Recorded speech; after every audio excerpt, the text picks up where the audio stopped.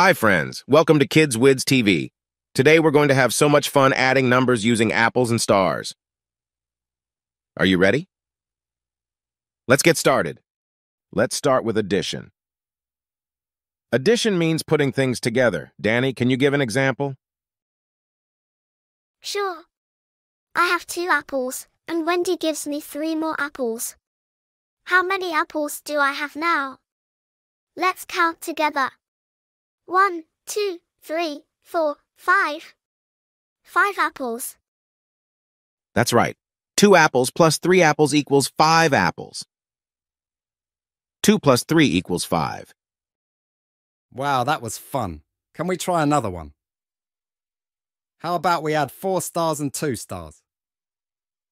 Great idea. Let's count together again. One, two, three, four, five, six. Six stars. Thank you for counting with me today.